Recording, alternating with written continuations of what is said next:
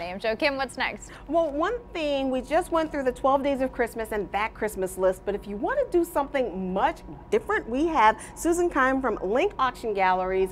She has something that you have never heard of before. You have some unique pieces.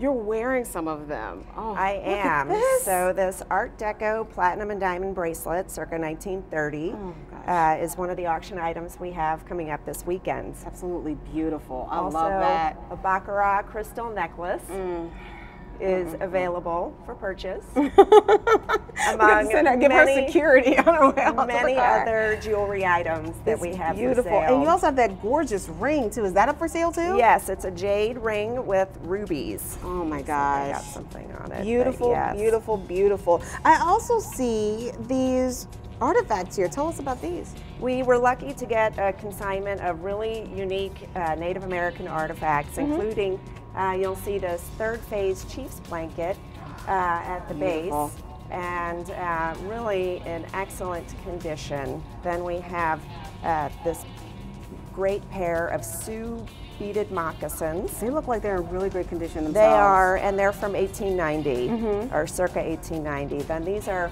Chief's cuffs that were beaded. Oh. And they're in oh. really fabulous condition. Okay. Uh, tomahawk mm -hmm. uh, peace pipe.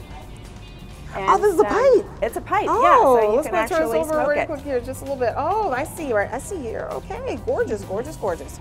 And that's also circa 1890. Mm -hmm. And these are beaded fetishes. Mm -hmm. um, and so these were made by women when they were pregnant. And this is an umbilical fetish. Oh my so gosh. So when um, they delivered the baby, they would mm -hmm. cut mm-hmm. the umbilical cord and insert it into the fetish oh. and sew it back oh. up. And then these were toys or decorations for the cradles. Very fascinating story. Okay. Yeah. And then lastly, I brought this painting by Albert Sully. Mm -hmm. um, it's of the steamship Eagle.